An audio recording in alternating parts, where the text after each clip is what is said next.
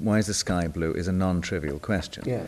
Um, what would your answer be? Why the sky blue? Well, because blue light is scattered more strongly than red light. And so, um, as the sun shines through the atmosphere, the, the blue light is, is scattered down to us. So when we look up, we see blue, uh, leaving the red light to go travelling straight on, which, after all, you see the red light at dusk when you look out towards the sun because you're seeing the unscattered red light. All right, so why are clouds generally white or, yeah. or grey if they're. But there is, that is a much more subtle question. It's because the, um, um, uh, the sky itself consists of molecules which are far apart.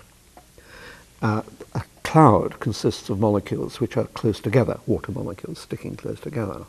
So you get um, cooperative effects from scattering from neighboring molecules.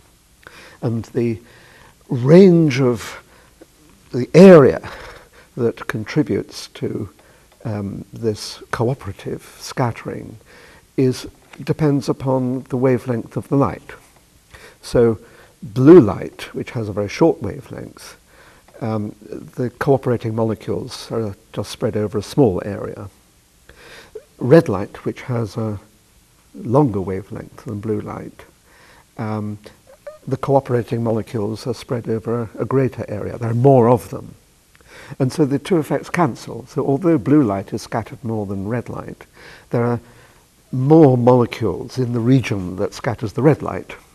And so the two effects cancel, and the blue and the red light and all the intermediate colours are scattered um, effectively to the same extent. So the white light bounces into our eyes as white light.